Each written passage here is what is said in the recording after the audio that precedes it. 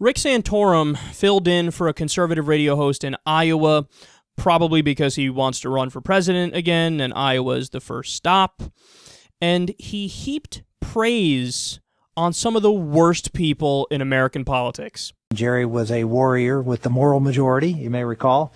Uh, Jerry uh, would come to the Congress every now and then and uh, had a uh, had a larger than life presence uh, when when he was in the room. There was just nobody who had a broader smile, no one who had a more welcoming uh, affect than uh, uh, than Jerry Falwell. And it's interesting because if those of you who remember him and remember how the press treated, you know, Reverend Falwell was not necessarily uh, positive. Always, you know, it's interesting that you know when you when you get to to uh, to be in the United States Senate, you get a chance to meet a lot of people that you read about and that you you never you never thought you'd ever meet. And Jerry Falwell was one of those people. And when I met him, um, it was uh, wow. He's he's nothing like what I what I expected. What a completely gracious, warm, uh, uh, affirming kind of, and, he was like that to everybody, not just me because I was a senator, but he was like that to everybody uh, in the room. He was he was quite a great presence. I'll share one other story is that uh, probably the, uh, the, the starkest contrast of what the press used to portray and what the reality was uh, on that front was uh, Jesse Helms. Uh, you may recall the senator from North Carolina who was uh, seen as one of the toughest, uh, meanest, nastiest guys in town. Uh, and there was no one nicer than Jesse Helms. I mean, I don't think a single Democrat would tell you that on a personal level there was anybody that was more gentlemanly, more more kind than than Jesse. He stood up for what he believed in but uh, he was always a gentleman about it. That's really one of the things that uh, tends to be missing uh, in the political world today, which is uh, stand up for your principles, uh, but be a decent human being while doing it. Decent human being is the last term I would use to describe Jerry Falwell and Jesse Helms. He just came in his pants over these guys. Let me tell you about them so you understand exactly who they are. Helms opposed the Civil Rights Act. By the way, we could end the conversation right now. I could just drop the mic like a rapper after having nailed it and leave. Conversation over. Jesse Helms is an absolute idiot and an immoral prick. Who who could be against the Civil Rights Act? And I do not buy the argument before anybody tries to make it.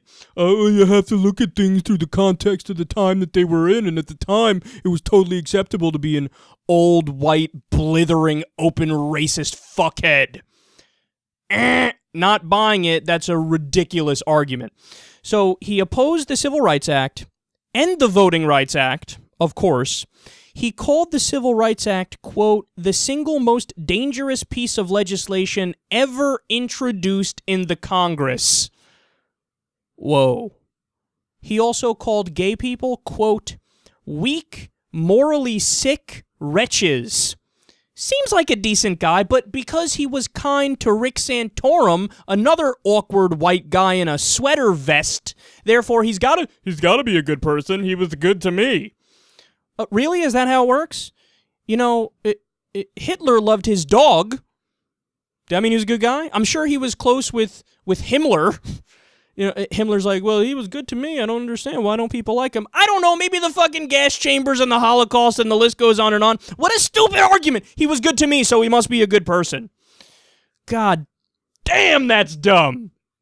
Now, uh, there's another famous story about Jesse Helms. He got in an elevator uh, and a black Democratic congresswoman was in the elevator, and she was the only uh, black woman in Congress at the time, and it's just them in the elevator. When the door shuts, he starts singing, "I wish I was in the land of cotton." Seems like a really great guy, I must say. Now let's go to Jerry Falwell. He found the Vietnam War problematic. Oh, okay, so I guess he's a good guy in this sense. Because he felt it was being fought with limited political objectives when it should have been, quote, an all out war against the North. Falwell said the following quote, The president, as a minister of God, has the right to use arms to bring wrath upon those who would do evil.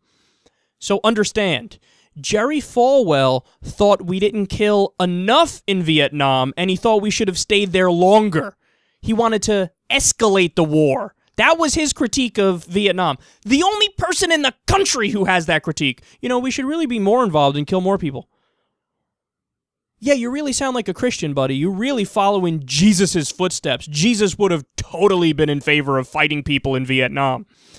Uh, Falwell was also against the sanctions on apartheid South Africa.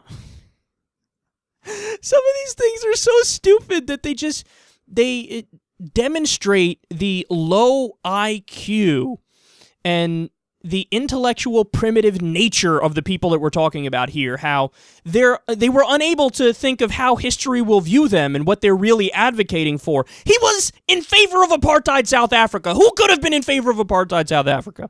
About mlk he said the following quote i do question the sincerity and nonviolent intentions of some civil rights leaders such as dr martin luther king jr mr james farmer and others who are known to have left-wing associations questioning MLK and his commitment to nonviolence. How did that go? He was only more wrong about that than anybody has ever been about anything.